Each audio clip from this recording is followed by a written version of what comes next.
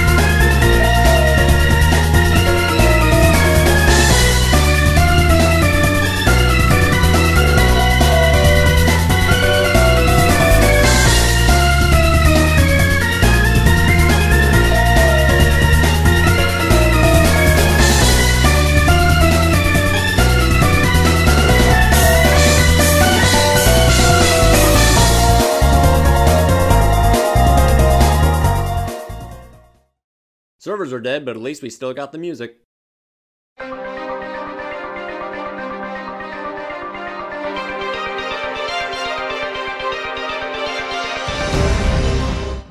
Is it ever considered morally correct to qualify anything as a safe addiction? Whoa. Now there's a question worth a thousand words. Or a million, depending on what the vast importance entails to one's desires. I myself can't possibly come up with a definitive answer due to the immense upheaval of complications I receive just trying to rationalize it as such. Because look, I'm gonna be real with you here. I think I have a problem with listening to video game music a little too much. Yeah, you know, that one genre of music often disregarded and thrown miles deep into the pit from the rug it's swept under by not only modern public, but the actual publishers themselves. No one may never know the reason for its underrated acknowledgments. Video game music is like an incurable plague gifted by a parasite that's long since become an important part of my life. And it's no exaggeration to confess that my life would be utterly boring as hell if anyone tried to get rid of it. Because in all severe, genuine honesty, this invisible black sheep of music has personally taught me so much in life in a multitude of inexplainable reasons that it's become more than just a hobby. It's literally my only source of energy for motivation. It ain't no lethal drug, but damn does it make me want more! Additionally, in a general aspect, there's always something so special about video game music that does so much more than providing earworm inducing or simply amazing tunes bestowed onto the ears. They are also a divine blessing that speaks to the player personally, as if the track they're hearing is its own person in a mystifying way, be it with the atmosphere, style of instruments, emotion, or where the current setting is held in the game the latter credentials of which blends the subjective best flavors in my preferred beverage when it all comes down to variety. The more notably so-called bangers are a satisfying time to give the replay button an existential crisis every once in a while, but the ones with puzzle-like qualities that ultimately creates a separate adventure are a joy to immerse in, regardless of its complexity. Very often the message is completely straightforward, but sometimes you just have to figure it out yourself. In other words, solve what everything means. That's where the fun begins when listening to soundtracks. The more you replay it, the clearer the message becomes. Thus, a relationship is born. If you're a passionate person like me, that is, who loves to go in depth on describing their favorite soundtracks that isn't just because they're awesome, which is what I'm here to do and this happens to be the fourth time I've done so on this channel, featuring the one and only Monster Hunter Frontier. I don't even need to describe how artistic this entire orchestral library is. I already wrote a book, it's in the review, go watch it. Though to cement a point, Frontier soundtrack is unbelievably good to the ridiculous extent that this game is single-handedly liable to officially be in the top 3 VGM categories by franchise. In addition, each time when I finish a particular game or series with a great selection of music, what I personally call the replay grind phase usually lasts a few months or so until I'm satisfied to move on to something else. But wouldn't you believe it when I tell you that this music grind Frontier has been going on for three years straight and counting? Yeah, I'm that much of an addict. Over that duration of ethereal luxuriousness baptizing the ears, it has become clear to the mind that there are quite a lot more to these sacred masterpieces than a general-based monstrous standard of musical performances deserving a standing ovation, courtesy to its melodies alone. By this, I'm referring to the unique detailed messages hidden from within the design. By years of intimate experience and paying way too much close attention to detail, I'll divide a select 15 canvases that stand out to me the most. However, full disclaimer advisory, I will not be including anything too serious or popular like Shangtian Phase 4, Dule Medila, Taikun Zamuza, or Guanzorumu. Most of the time the music speaks for itself, but that's not what I'm going for. And to clarify, unique does not equate to its melody necessarily. For this video specifically, I'm primarily focused on the types of soundtracks that either have the most elemental depth to them or give off a completely different feeling altogether. Though some might argue that all of Frontier's music fit this criteria normally as is, which is true. But like I said earlier, these are the ones that always stood out to me the most in terms of uniqueness. Also, to keep things fair, I won't include the ones I've already described on my remade 10 favorite Monster Hunter soundtrack video. As much as I genuinely love to have the honor talking about how fucking gorgeous Batarasu's theme is for an hour, there needs to be a boundary set in place somewhere. Lastly, this is not a countdown list over what's better than the other. This is simply a non-biased category of examples that own interesting music design choices. And just to give you a better idea on what I'm talking about, Rukodiora, champion of the magnetic field, would match this category perfectly. It's a heroic fanfare that literally personifies how it feels to fight for justice. It prepares to engage and quite literally leads itself to victory. With that being said, I am GBA049, and let's begin the Frontier Music Analysis.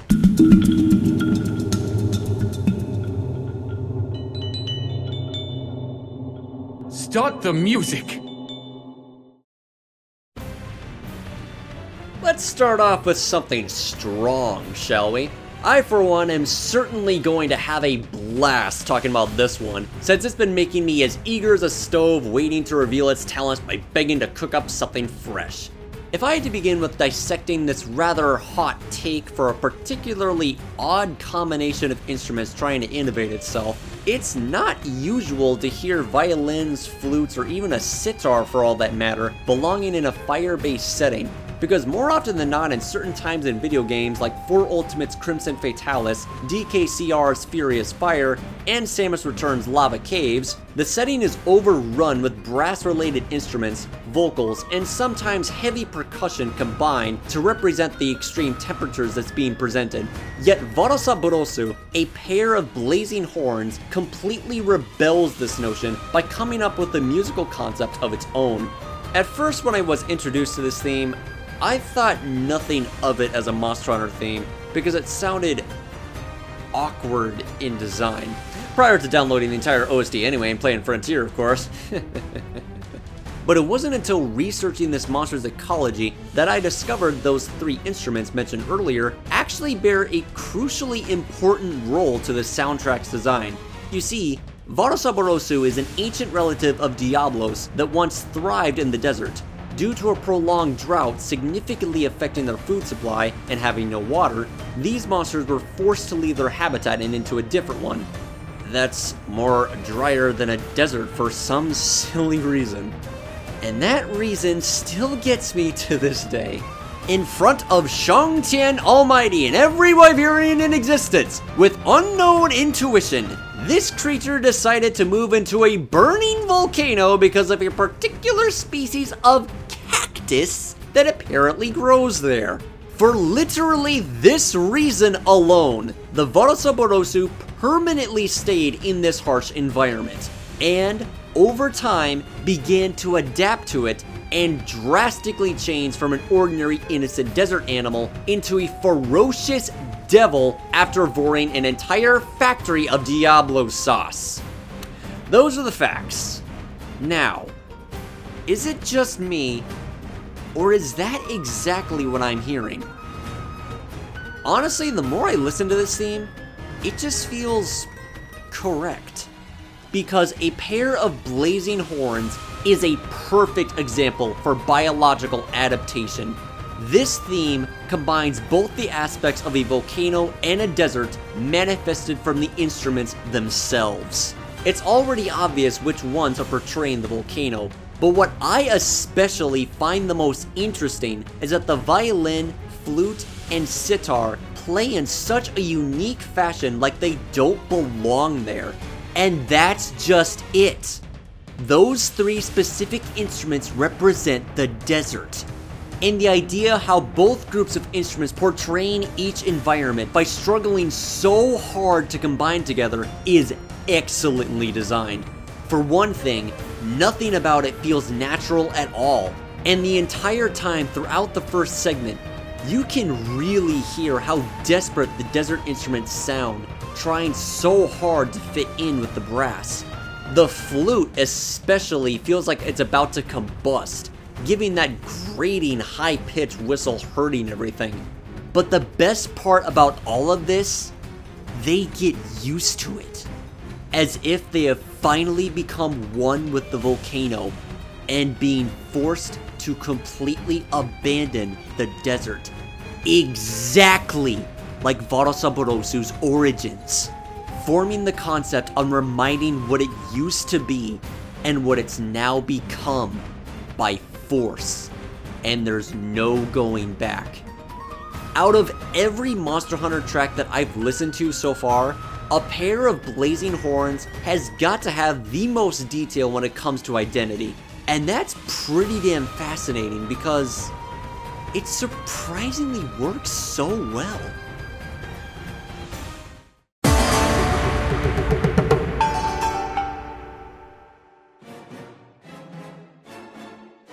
Leaving Pandora's music box slightly ajar to unleash the original Rampage was a great way to start things off. Now let's lift up the cover and examine what other unique hidden gems it has for us to offer. To my own personal analogy of underappreciated frontier tracks, such as the exclusive rank-dependent area themes, this unique music catalog are mostly all grouped up as the lesser-known voices wanting to be heard, albeit not quite as loud than the others that hold a much larger message and protest, despite the title suggesting otherwise, but still an incredibly interesting take nonetheless. The bellowing stormy weather, or roar of stormy weather as it's sometimes called, is a naturally progressing area theme in low rank that's entirely built in a symphonic style. The G rank version of this area, the Earth's disaster causing rage, practically just about meets the same description I have for its low rank counterpart, extra rate of intensity being the only given difference. To shed some light on the details, symphonies, as a unique musical style in its own right, are more commonly identified for their constant shift in mood and speed, like chapters in the same story you're reading, Characteristically, the Highlands' two main novels of the same saga feature very enticing prospects identical to one another that perfectly contributes how it feels to progress in a hunt as a new recruit, along with the condition of the area simultaneously. By this I mean that the design of low-rank Highlands theme can be interpreted in two different ways. To start off, I'm sure everyone here knows how it feels to begin a quest in a new area, right? It's like an awe-inspiring sight to behold, taking in all of the magnificent scenery around you, thus filling your mind with an ambition for adventure. As you're doing so, you discover the assigned monster that you need to go after. It's very close by to where you are, so you quickly hide behind the nearest structure of terrain you can find to avoid detection. But then, in a sudden turn of events, something provokes the monster foot on twig style, and it begins to check its surroundings, approaching closer and closer to the very spot from where you're hiding until it finally spots you, angrily chasing you down and bringing you into a permanent state of panic. running for your life. The last segment specifically correlates redeemably well for that idea, since if you listen very closely, you can hear distinct native chanting in the background, like they appear to be frantically scrambling all over the place in desperate urgency, written in nothing but danger. That is definitely one way of putting it into perspective. As for the secondary form of elemental construct, lies within the general suggestion of its title, the bellowing stormy weather, a gorgeous ray of light shining atop the gigantic mountainous landscape towering high above the sky, manifested in awe. But not long after, dark clouds begin to surround the air, consuming the light of day and replaces it with a raging thunderstorm, ceaselessly attacking everything with every powerful blow, until rain and thunder is all that remains of the beautiful climate. The once uplifting outset absorbed by the sun, destroyed by a storm, in a never ending cycle. Such is the dangerous life that is the Highlands. Whoa! A low rank environment either building up the setting for a rookie hunter experiencing their job or the beautifully authentic natural changes of an area casting unstable weather conditions filled to the brim with imagery? Now that is something else of extraordinary.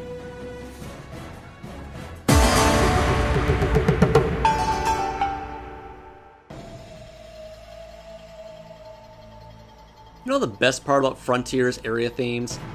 Not one single precedent is derivative.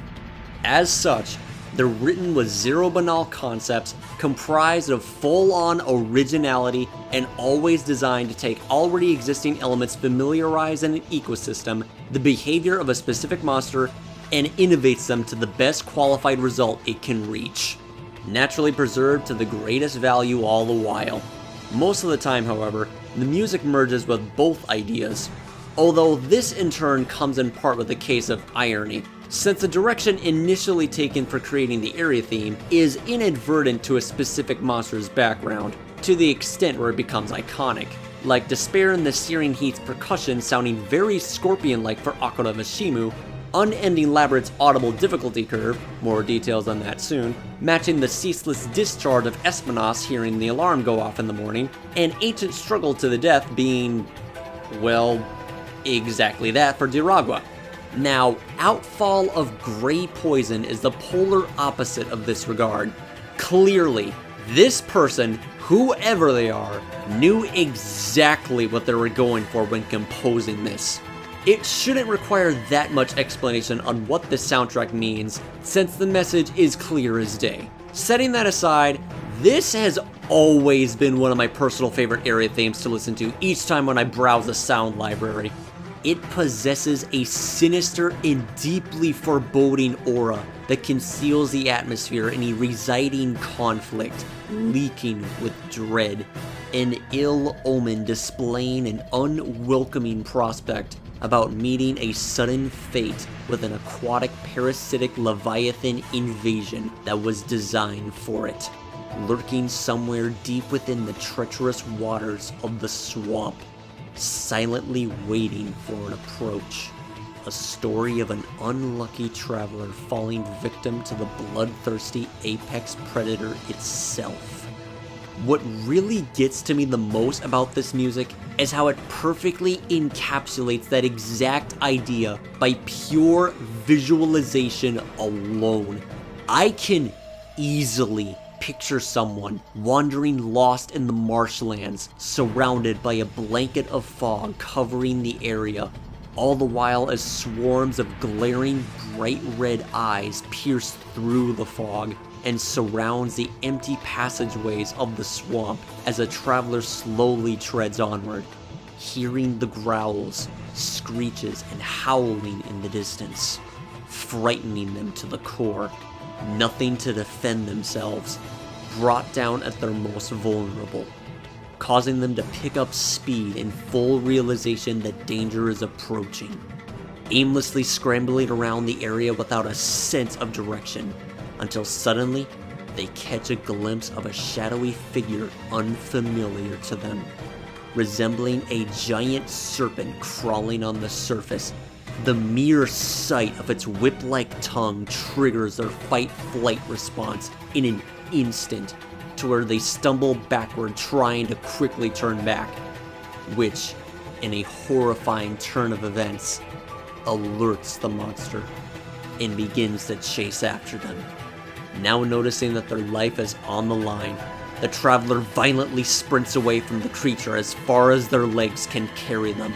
But the second they look back, the beast is starting to quickly catch up with them, slithering closer and closer toward the horrified traveler experiencing an ordeal like they've never imagined the adrenaline rushing to their head, the petrifying fear in their eyes, their heart pounding through their chest like it's about to burst, running for dear life, doing everything they can to avoid capture from this hellish creature.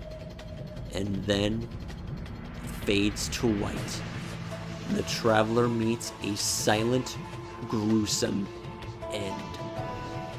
This is what I visualize every single time I listen to this soundtrack whether if it truly represents the tenacious nature of Barun and the cataclysmic situation of any unfortunate innocent being encountering it, it's clear to perceive that outfall of gray poison builds the general feeling of the wild and the savage beasts that thrive in them, hiding in the thick underbrush to prepare for an unsuspected ambush in isolated fear it immediately starts in suspense, drowning out the subtle croaking-like instrument resembling a frog, the only living aspect of the swamp. The flute creating a state of alarm, like something bad is going to happen, replacing everything in agonizing conflict, growing more worse in each segment, rushing through everything until it ends in disaster. Full stop. This area theme is brilliantly well put together in every aspect provided.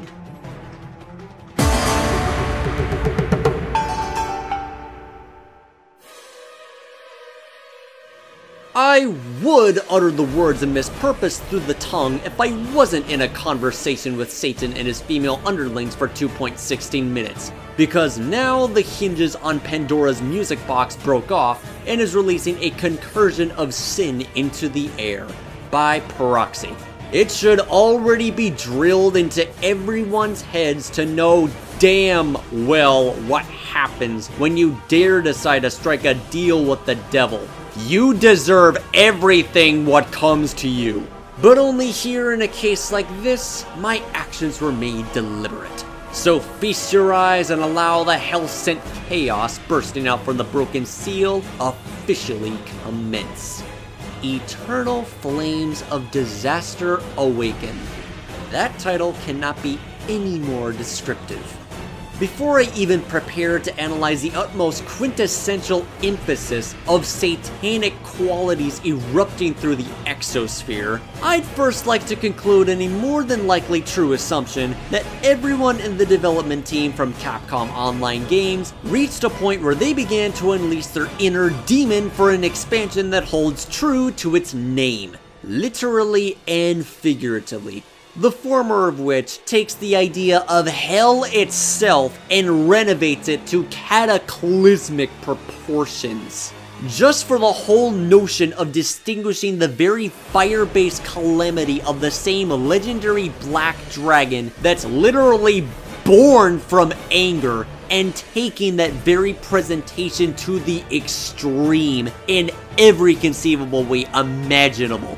It genuinely astonishes me on how far Capcom took the premise for designing Crimson Fatalis in Frontier as the monster equivalent of Satan. Only ones that are foolish enough would detain to concur it as such. Because I must humbly implore to anyone that isn't familiar with the experience to pay attention.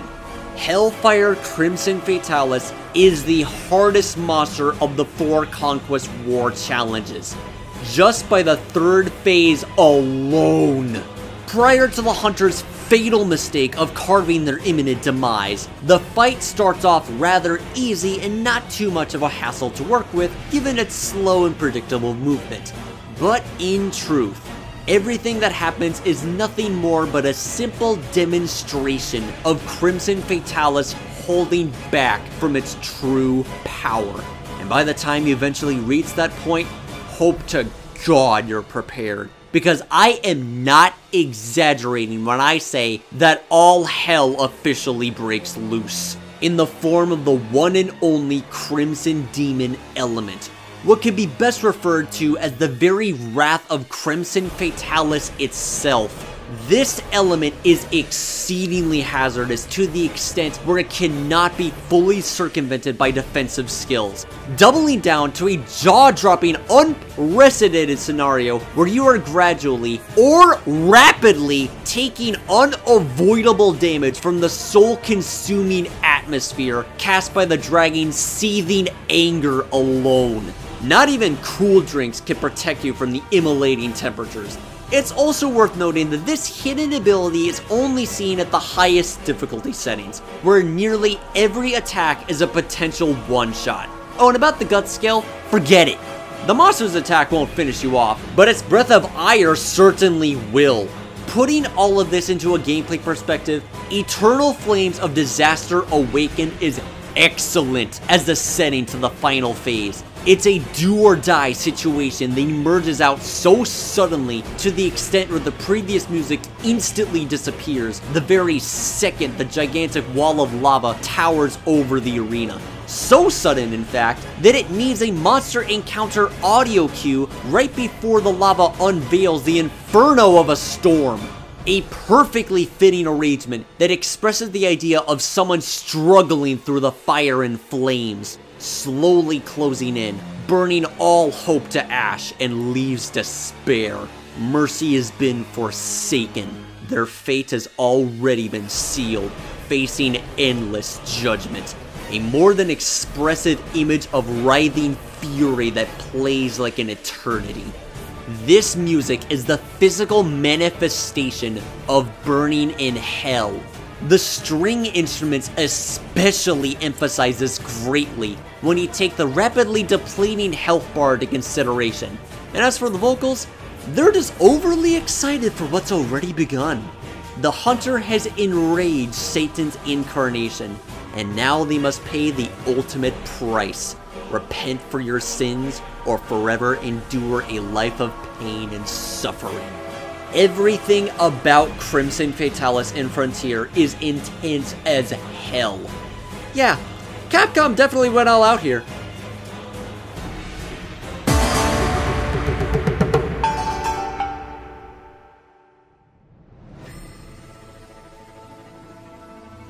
Descending into hell and ascending into heaven. Ironic. Too bad the eventual outcome here still isn't pretty.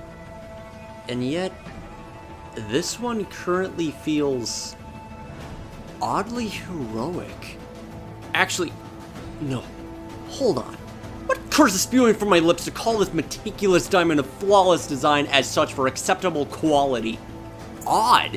What a worthless thing for me to say.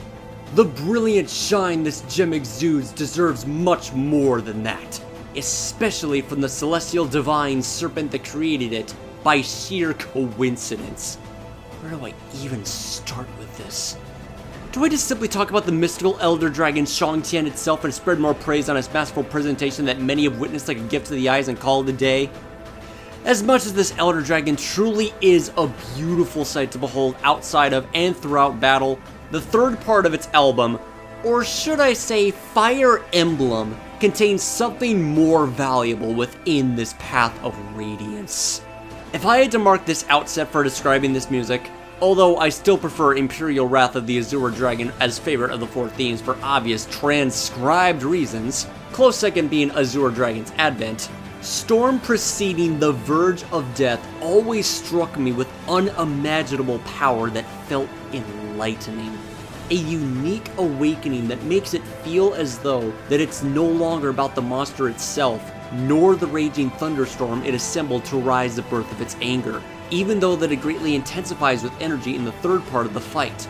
but instead the other way around.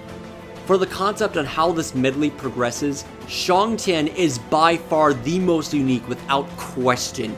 It captures and enhances every waking element that gradually unfolds in the fight. From setting of the sky, to atmosphere of the ever-growing dangerous storm, to emotion of the entire situation. Phase 1 starts calm and relaxing, Phase 2 begins an upheaval to present warning, but Phase 3 is a fusion between the monster's feral weather instability and the amazing feeling of reaching close to the end of battle after what felt like days trying to fend off against its godlike power since the encounter. At least, that's how I'd like to interpret it anyway. But I seriously cannot get over how gorgeous the orchestral segment at the halfway mark sounds. I am enamored by the insane amount of triumph and victory imbuing from this. The flute beforehand gives off a different feeling altogether, which could possibly symbolize Shantien's anger. But then immediately after it plays the final note, the drums begin to build up with power and creates an explosion of victory. Bursting together all at once like a pillar of light reaching up to the heavens. Dancing in harmony. Screaming, this is it. Victory is at hand. This is your time to shine. Far into the horizon and plays out like a true grand finale. A reward in and of itself. All the time spent fighting against this god of the heavens will finally come to an end at last. An ethereal aura exuding with transcendent heroic symbolism given to you moments before revelation. And herein comes the best part about this entire setting. All of those insuperable feelings of victory are only there to drown out any evidence of Phase 4's catastrophic conclusion. Not a single hint of Shantien's infernal outrage is presented in this music. No fraction of there being a sudden outbreak at all. Zero foreshadowing from the instruments. It is extremely well hidden to the point where it makes you believe that you've already won. But the only sign available to obliterate those ridiculously empowering feelings of triumph conquering the skies lies within the title itself. Hands down, this soundtrack is the most unique in Shantien's entire medley. Though before I move on, I must point out one observation in the fight that fits spectacularly well with the music. The intense hurricane-like gusts of wind dancing in the background goes so damn perfectly with the violins in this segment.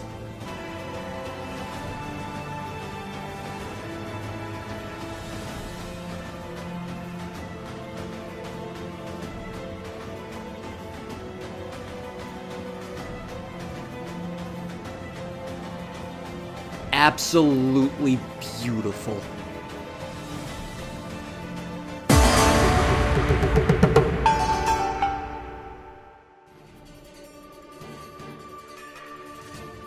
Recalling back to what I mentioned previously about Unending Labyrinth's music structure having an audible difficulty curve, uh, quote unquote, since this is all just me speaking my mind here for how I interpret some of Frontier's area themes, the rather genuine environmental groovy outset heard prior in the Great Forest being swapped for an overzealous upheaval of fast-paced action is, to my eyes, a brilliant way to indicate how off the rails the experience of a hunt is starting to become. Since in Frontier's natural, insidious standard for HR progression, HR5 is the official inauguration tour of the game strong arms you to the very back of the limousine and shifts the gears to maximum overdrive until you burst through the trunk. And it's no surprise to find out that some of the music takes the same route. The most distinguishing trait about a majority of Frontier's high rank themes is that it- Wait, wait, wait, what was that? Come again? Well, now you tell me. Okay, slight correction. The most distinguishing trait about majority of these area themes in Goshu rank is that it innovates and differentiates every aspect in a hunt to keep up with the game's difficulty pacing to the point where it feels as though that it's no longer holding back from anything. However, there is one exception to this that doesn't meet the following over-the-top soundtrack criteria. Instead of behaving like its own monster with the hardcore option toggled on, the Goshu Gorge area theme exhibits an extremely basic and slower approach that the radar often completely ignores. Which doesn't take that much to understand why Raging Fate is considered the least strongest, or just the general outlier of area themes in Frontier overall. At least in my, what say, portion of a full opinion. For a couple things that I sadly have to agree with. The repetitive buildup, linearity, and just the lack of anything special going on makes this music simply the most forgettable of the whole lot. Yet despite all of that, Raging Fate, to me, has an acquired taste of simplicity that's not at all weak in the slightest. Generally speaking, I mostly find it curious on how this area leads up to the Goshu rank theme. At the start of this grand adventure, pun intended, the music that you're introduced to begins as an authentic, non-threatening composition sent at its most standard, playing out in a rather fun and lighthearted fashion, which is a great way to express low rank since the game is still taking things easy. But by the time when Goshu rank is reached, things suddenly take a dramatically different turn to indicate what the environment has developed into. And to reiterate, it's a very curious outlook to me. It isn't fast paced, nor is it an overhaul of elements greatly enhancing the area itself like everything else is. No, that's not the case here. But instead, it's a quiet, regressive arrangement promoting a setting of endless rising tension. This entire piece is comprised of authentic themes related to a canyon and its sheer immense size, coupled with deep, serious tones that feels intimidating, playing out like as if something horrible is about to happen. A warning for what's to come. An attack from nowhere that you're expecting expecting to occur. Like the full awareness that something is keeping a watchful eye on you. Patiently waiting for the right moment. And yet, the setting continues to rise with pressure. Forever growing, never subsiding.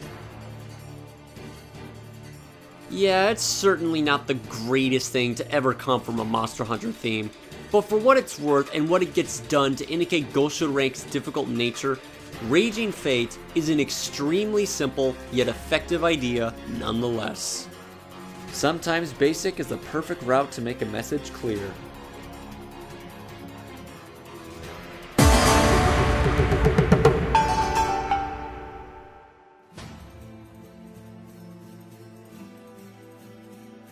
A perfect example of true beauty cast in a veil of ugly deception. Genuine as it is wonderfully poetic by design. The strong aroma of the title, Petals Falling in Disarray, checks out in a flawless execution that really does not need any further detail to properly break down for description a G-Rank area theme formerly perceived as nature's very personification, flowing like water in fertile soil, now receiving the gift of blessings from the bright sun's nurturing warmth so divine, and blooms into a luscious, colorful field of G-Rank standard material there is, however, but one extremely vital bit of intel that I must respectfully point out in regards to what deception entails. that being the violin's once captivating performance being shredded apart by a foul note from the flute, causing the image of the flower field's perfume like atmosphere to die out completely, thus proceeding to infect everything once fragrant to the senses with malignant fumes of chaos audibly expressed like a tornado savagely ripping into the fields and scattering everything in a full bloom frenzy. All the while miraculously retaining the essence of beauty it still possesses, regardless of how much damage is being done to it. That is amazing. The Goshu version will always be the best of the two themes of Flower Field, but I have a special attraction to the G-Rank version's moments before disaster segment being sent as a reminder to what the experience has fully become. No longer the same flower field we once knew. Things have grown more frantic and spiraled out of control. But the symbol of beauty still remains, forever preserved in a bouquet of luxury. Whoever comes up with these song names in Monster Hunter is a master of imagery craftsmanship. Petals falling in disarray is nothing short but a work of art. What more could I say?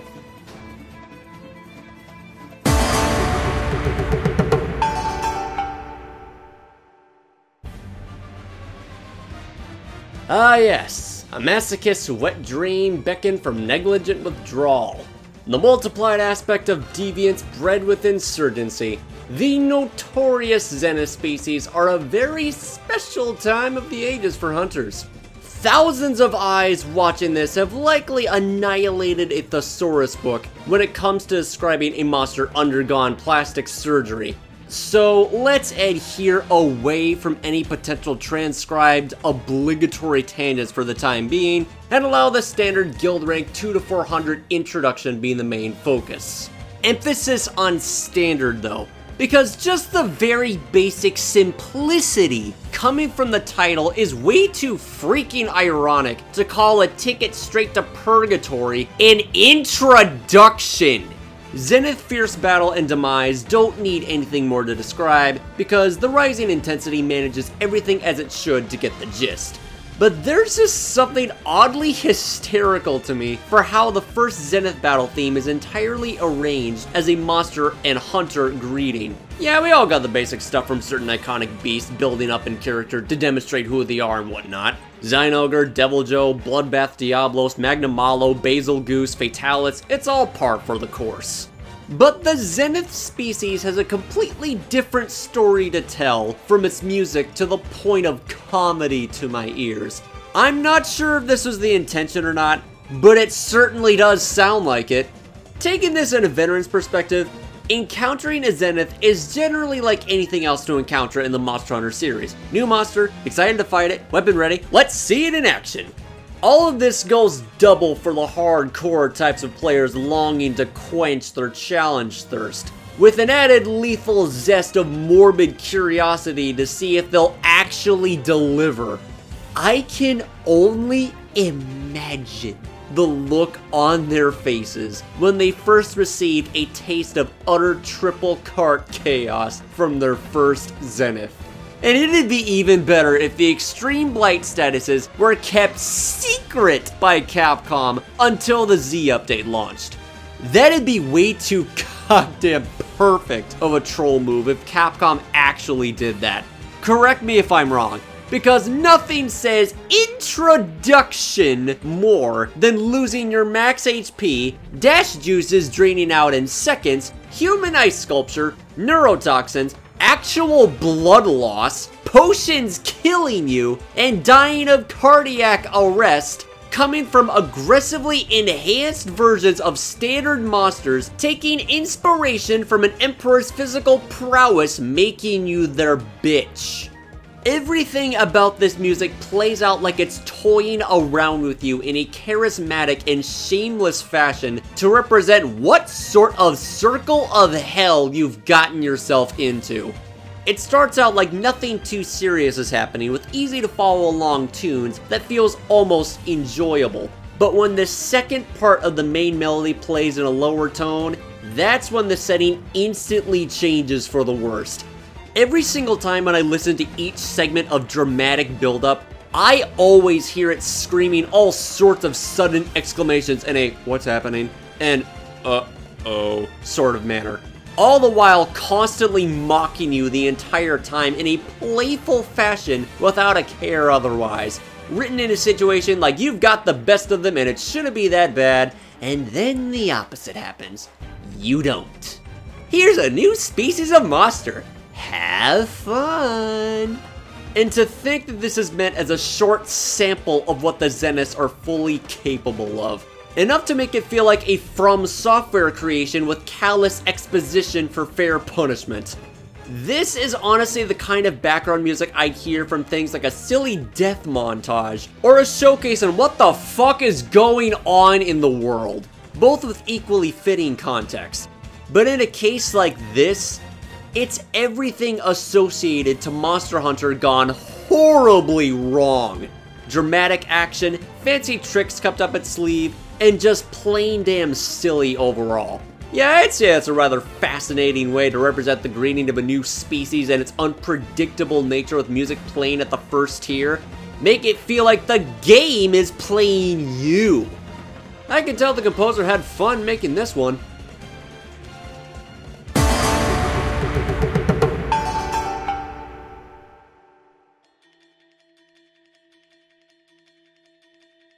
Tell me, what's the first thing that comes to your mind when you think of unique Frontier soundtrack? If it's Inagami, then congratulations. Treat yourself the finest gourmet luxury meal the street cook has to offer at a free discount because you, my friend, are deserving of a compliment for having excellent taste. Let me tell you, I myself could not feel any more welcome to dig into this sacred treasure of forgotten times. I would have risked committing the forbidden act of treason and bamboo tortured as punishment if two of my brain cells fused together to generate the impossible image of leaving behind this artwork painted by a god of nature. It's what inspired the making of this video in the first place. How could I? Only a fool would take such a deadly gamble like that. There is no hope for survival against a pissed off, wise, and noble king nourishing the soil you're about to be buried under. I'm not that fool. I am its servant. The beauty of innovation can hold quite the obligation to carve the tools needed for quintessential quality of life material. And I say that like it's objective, doubling down to the extent where a Monster Hunter soundtrack is heavily focused on actual instruments made out of bamboo to clearly represent the exact same elemental prowess coming from a monster that has complete control over it is absolute genius. The more notable one that plays throughout the main melody after the continuously rising orchestra reaches its peak is an Indonesian percussion instrument known as an angklung, an instrument similar to the shape of a xylophone made out of bamboo tubes creating a beautiful resonating pitch when struck. The sheer authenticity from this music's design is awe-inspiring on its own right for merit. But there's just something so incredibly mesmerizing about the Angklung in general. I don't have any other way to describe this, but the way that it's arranged within the melody legitimately sounds like as if it's opening up the book of a story. Possibly the backstory of Inagami's past unfolding the long since forgotten time of its once peaceful coexistence with humans in the bamboo forest following the betrayal of its own powers being used for selfish gain, and finally leading to the permanent conclusion that things haven't changed. And the very instant Inagami crosses eyes with a human, immediately right off the bat, it is personal. Yet despite all of that, at the same time, the music itself strangely doesn't feel all that aggressive to express the unfathomable hatred and fury Inagami has during the situation. Instead, it's calm and enlightening in an odd sort of way. Presumably the case for this is because it's trying to say that it's still an ancient god of nature, It's really difficult for me to explain, but the bottom line is that hearing this music when confronting Inagami doesn't feel like a warning. It's more like a test of strength to show what you're made of. Hence the amount of motivating action the music has all over. I don't know, perhaps I'm overthinking this too much. Although there is one last theoretical point of view that I'd like to jot down regarding the previously mentioned Rising Orchestra. The way that it starts off and ends with basic buildup continuously rising in higher notes acts like the rapid growth of a bamboo shoot the moment it's planted. The process has already begun and before you know it, it's become a full-grown forest. Granted, that might not have been the intention since this is once again my own way of imagining things, as much as it does sound accurate. But regardless, Inagami Javon Dance is without question the crown jewel of everything that makes a Frontier soundtrack unique. If this video was a countdown, it'd be number one, specifically because of how natural everything is. And the amount of effort Capcom put into this just for that very idea alone is amazing enough to the point where there's two versions of the theme that either emphasizes or de-emphasizes the Angklung, while the latter is drowned out for the former. What more could you need?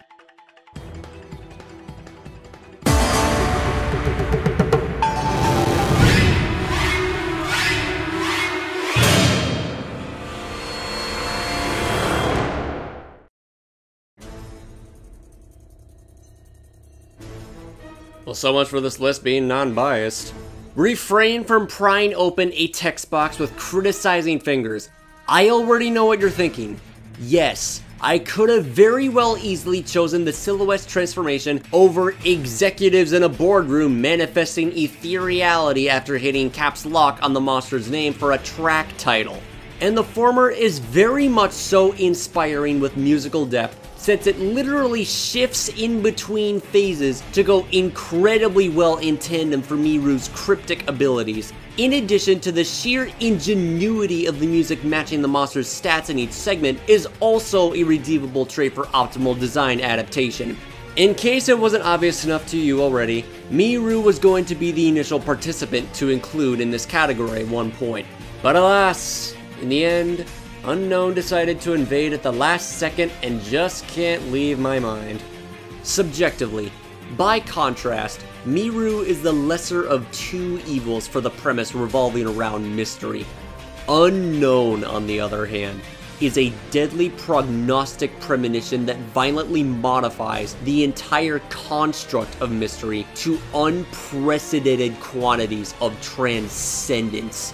I can wholeheartedly attest to the incredulous notion that an unoriginal concept of simply telling Rathian to go to hell and come back with a different name as a reskin is a jarringly impressive accomplishment for execution in Capcom's case, because clearly depth was the key bearing element gifted to something as linear as unknown. There is literally nothing else available to describe it. Unknown is a genuinely basic concept but it works so goddamn masterfully! People can give Capcom the benefit of the doubt and say that Unknown is an awesome Frontier monster concept, but it falls short for being nothing more than a Black Rathian. Yeah, last time I checked, Rathian doesn't poison you with its talons or invade you completely by chance. Such probabilities that are insanely low enough to the point where you never expect it to happen. But when it does, you are no longer a hunter. You are a victim. What gets to me the most about this music is just how sudden the standards of hunting have been mercilessly slaughtered. It's an arrangement so catastrophic and out of place that it invites something completely different to outright extract the context of Monster Hunter out of existence and replaces the natural primary qualitative formats behind a monster's battle theme with an ominous cloud generating with endless rage and insanity, arriving in sheer terror, raining down Armageddon all the while. Every waking second coming from this practically forces the contorted perception that this unforeseen cataclysmic demon of a flying wyvern is your worst living nightmare posing a scale of omnipotent power ceaselessly rising with buildup, leaving behind not only chaos in its wake, but also unanswered questions that adds to the spontaneous experience. What does it want? Where did it come from? Why is it here? Is it even part of the frontier? Or something else entirely? No one knows. All that's known about this archdemon of the skies is that it has the body structure of Rathian, invades hunters by instinct, and casts an ordeal unto them that brings fearing the unknown to a whole new level entirely. And that's the beauty of it.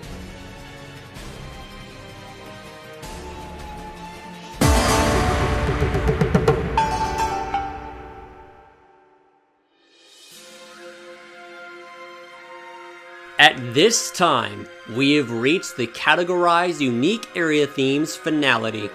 An infinitesimal and endearing speck of land hiding in secret within the distant oceanic breeze. A small, refreshing subtropical paradise for four exclusives to call home, both where the light does and doesn't shine. And for this occasion to observe this place's hidden, fascinating contents, I chose surface value. More famously acquainted with the beyond innovative hybridized primate that is the Gogomoa, Tide Island by itself is a rather perplexing spectacle of an ecosystem. One half is peacefully calm and serene with energized blessings of nature, while the other half is completely buried as the exact opposite. If you decide to order KFC or partake unscrupulous assignments for orphaning a child in HR 5, the former glorious outburst of unfiltered life promoting a brand new and exciting discovery becomes a frantically intense deforestation war zone wrought in conflict. You know, before coming to this conclusion, the area themes in Frontier in a gradual progressive standard are more unique than how we already view them as, meaning the elemental construct to represent the specified ecosystem's dramatic changes in music doesn't necessarily give the spotlight to the overall hostile hunting experience in general.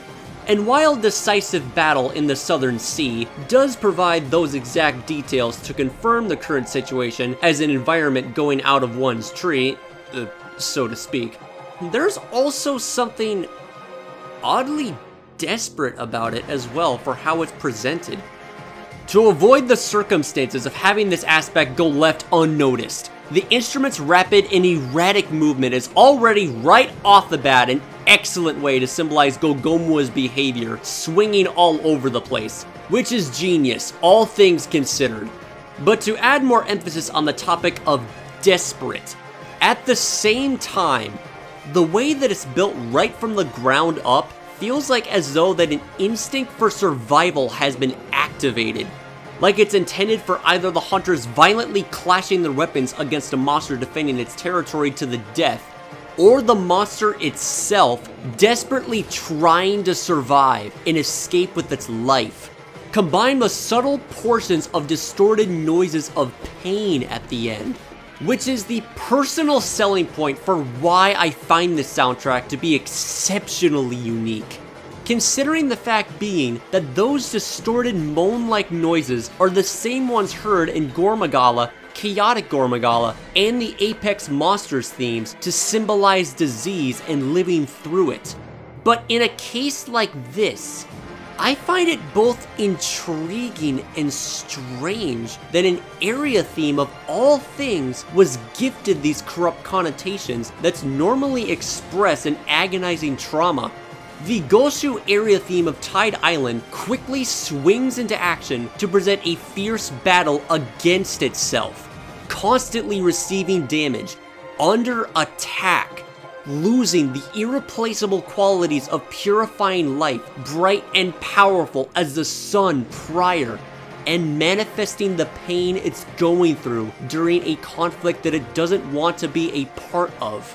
Perhaps the decisive part behind this theme is the concept for survival of the fittest. The more that I listen to Decisive Battle in the Southern Sea, the more I ponder over who or what it's intended for. In my perspective, it does not feel like the environment becoming dangerous, rather the damage done to it. Good thing everything's fully restored eventually in G rank.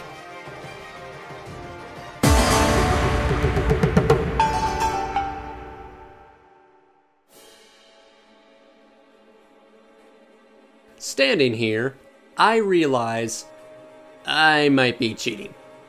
Lo and behold, to all who gaze upon the extravagant golden aura bursting in a world of light, none may understand that this standard for untold, irreplaceable value is an awe-inspiring angel of dignified praise ascends into the skies to deliver the mortifying conclusion that I have already described as marvelous performance as an honorable mention.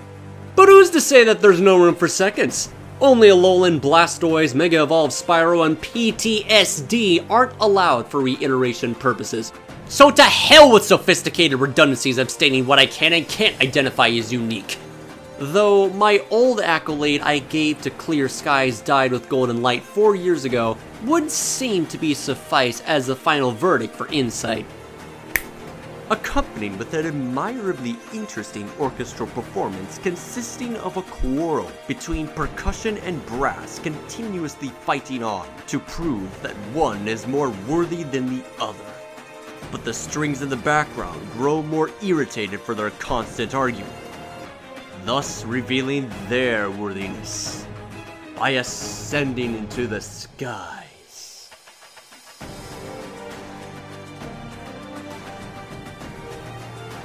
Soaring with transcendence. And now, everyone has officially been deemed worthy. Marvelous. Satisfying and straightforward, but too much of a monologue to be remotely concise. I digress. While I do deeply admire each instrument fulfilling their job for transcending the concept of air battle to inconceivable proportions, and especially the outstanding, gorgeous ascension at the end to make eardrums instantly fall in love there is one tiny and exceedingly important credential that's responsible to enable all of this heavenly glory arrive like a miracle. Percussion takes care of the airship's pavement, strings covers the sky's incredible horizon, sitar vividly expresses the golden dust decorating the atmosphere, and what's the brass responsible for? The powerful gusts of wind. Garuba Daora's binary tactic for opposition. Hearing the tubas unleash the mightiest blast in nearly the entire length of the track by literally screaming air battle is just top peak performance. With so much built-in volume to outright devour the rest of the instruments, the empowering strength bellowing from the brass symbolizes the wind element so tremendously that it's as if you can legitimately feel the force of wind coming from the music itself, as it quite literally blows everything away. That's what it feels like to me every single time I listen to this piece.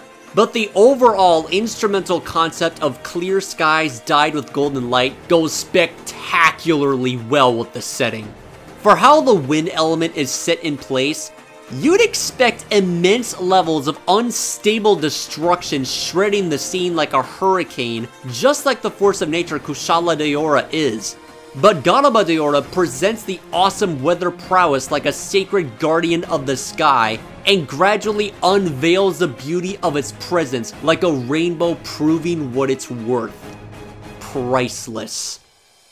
And this is just me once again tossing in extra interpretations for the basis of how downright epic the brass sounds. You know those specific scenes in anime where a character's fault or coat is shown aggressively swaying in the wind each time when they perform a signature attack using a badass pose while everything erupts behind them? Visualizing that when listening to this music just makes it feel even more epic and I love it. When the presence of golden scales and diamond shards precedes a fierce battle in the skies. The beast awakens the power of wind and ascends into the atmosphere toward a higher place of majesty. Speaking of which,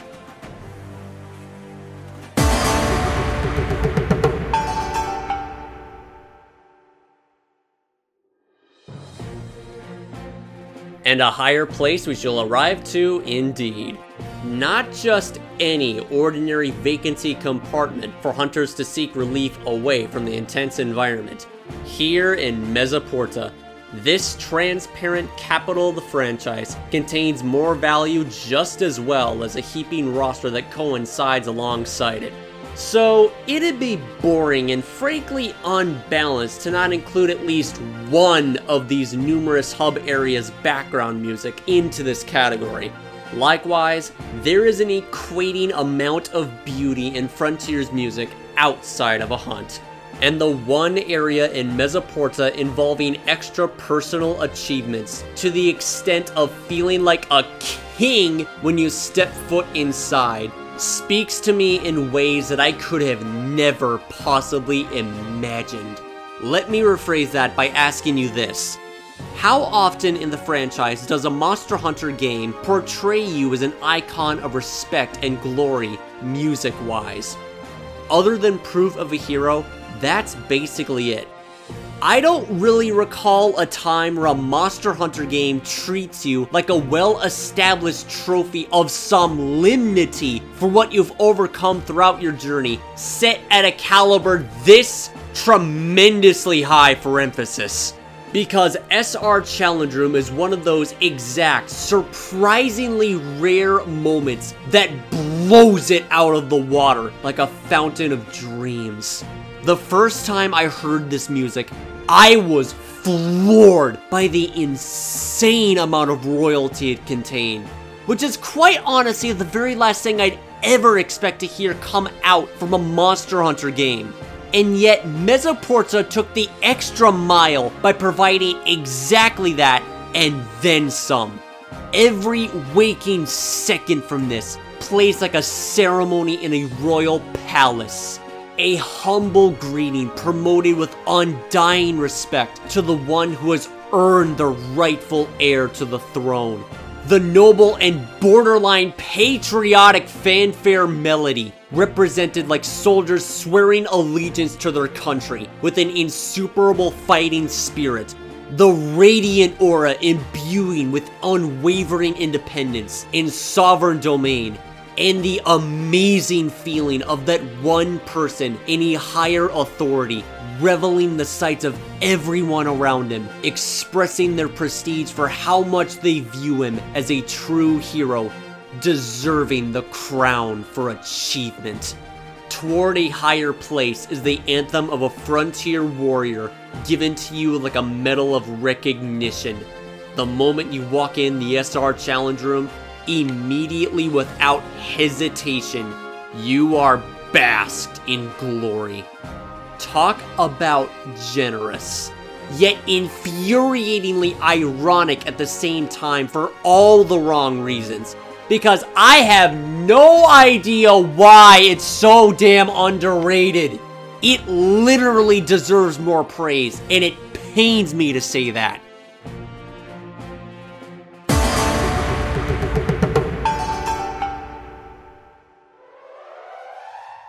It may not be much according to a lot of people out there, but trust me, there is a lot to talk about this one. Digging into genuine simplicity once again for the establishing factor of basic effectiveness, and it'd be highly irrational of me to step away from one of many perfect occasions like this. And why I chose it to begin with, because I assure you, it's all within good reason. For how this is going to be set in place, I will decompose the soundtrack into several separate unique categories of its own. These include the presentation, identity, context, and development of the music that further classifies what it means. Immediately right from the start, this music invokes the feeling of shock, like someone has witnessed the sight of something that causes them to gasp in terror. In a very sudden and alarming like fashion, that details how spine-chilling the encounter is. And the drum paired with the brass instrument interchanging the same rhythm together in unison creates an impact that really sets the tone of immense pressure and weight that's felt in the current situation. Which I find to be the best part that truly makes this music stand out the most since those exact feelings of immense pressure and weight is built with so much power to emphasize the monster's resounding footsteps echoing in the distance and trembling the earth. Likewise, the music itself feels heavy, and it reiterates throughout the track, added with more disturbing elements to clearly portray the prehistoric behemoth approaching directly to you as its prey.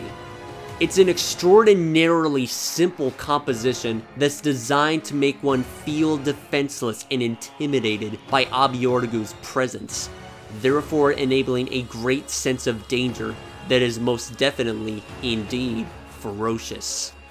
Additionally, I really like the general concept of how raw the ferocious predator is arranged with very little need for identification. That in and of itself is all kinds of unique, because monsters with their own battle track that we're all closely acquainted to as hunters usually have distinct chords, instruments, and styles to give them exquisite personalities for who they are. Alatreon's deliberate inconsistency with a whole plethora of instruments for its elemental instability, Glavenus starts off dull on the edges and increasingly becomes more sharper and dominant like a sword exactly how it is in battle, Chameleos literally adapting to its surroundings and eventually comes out of hiding to match its sneaky and elusive behavior. So, what's Abiorgu supposed to be? Nothing. No element, no secret, no special characteristic.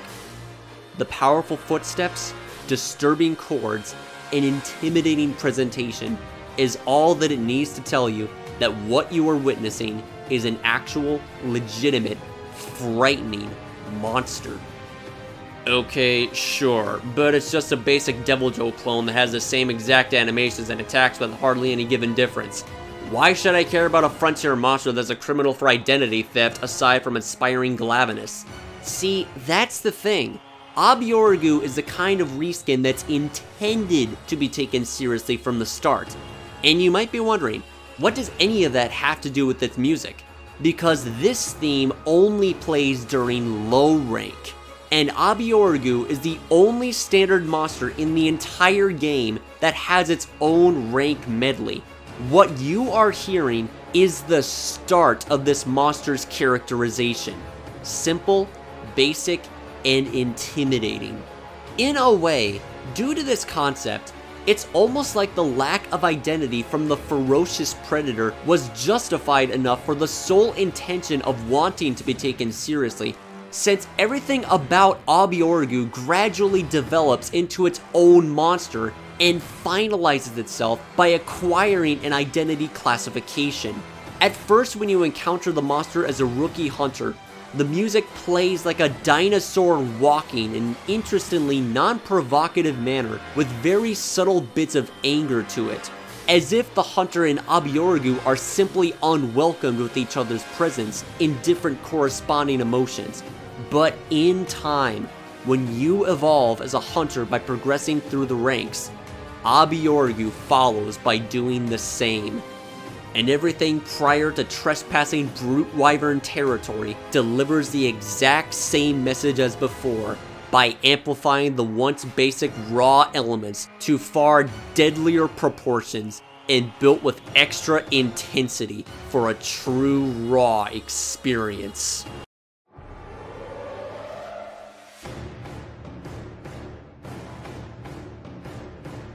Abiorgu's back, filled with a vengeance and better than ever. And a new friend.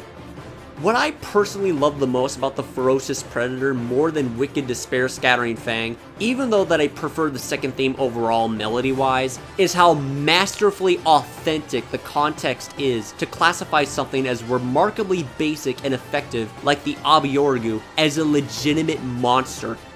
Not only that, but it's got every characteristic available to represent the entire classification of brute wyverns in general. Big, dominant, ruthless, deadly, and ferocious. The true forces of nature that knows how to bring the pain and deliver the ultimate struggle to hunters. And if you ask me, Abiorgu isn't just a brute wyvern, he is the brute wyvern. The flagship of Monster Hunter Frontier Forward 2, the ferocious wyvern, dubbed Dino Crisis. You don't need an element or a special ability to be unique, because it's who you are that matters the most. And Abiorgu's low rank theme is perfect by keeping things simple in the best way possible. The familiar, unpleasant scene developing into something new. Yeah, I kinda like this monster.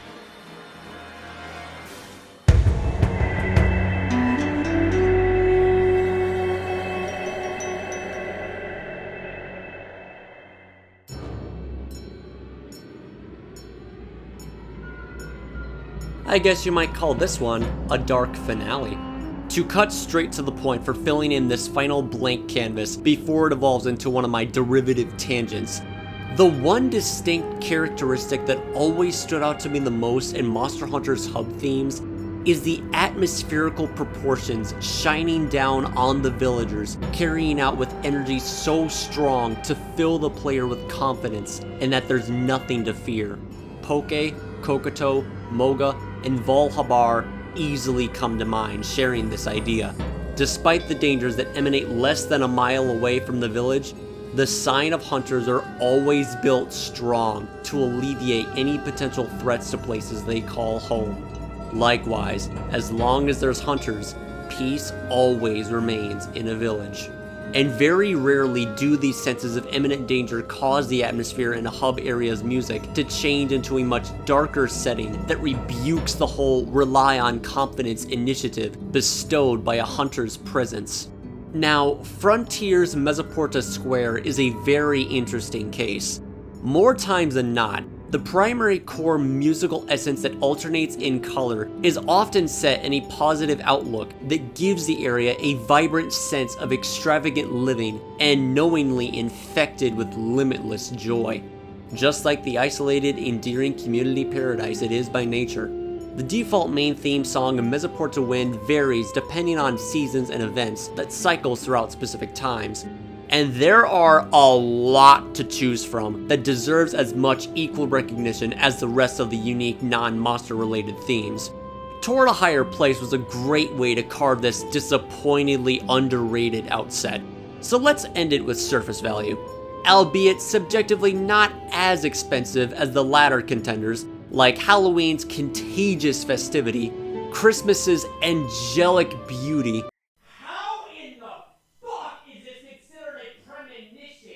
and anniversary making me want to be a part of the audience, but still very much so equally admiring and worthy enough to have its own spot. Mesoporta Wind Ancient Dragon Attack comfortably earns this spot for owning unique musical identity that truly behaves like its own beast. That by itself is incredibly surprising to hear come from a hub theme. Because like I said earlier, equal the toward a higher place forming solemn glory. Dark settings in Monster Hunter outside of battle is nearly non-existent in its music.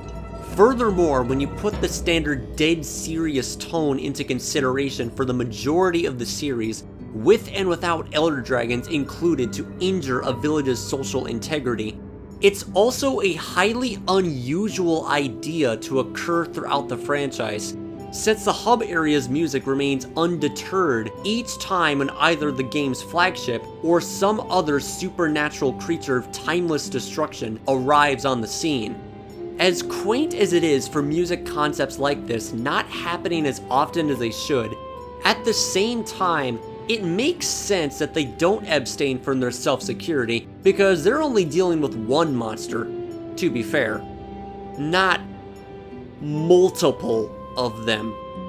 As far as I'm aware, this is the second time in the series where a hub area theme is greeted with darkness.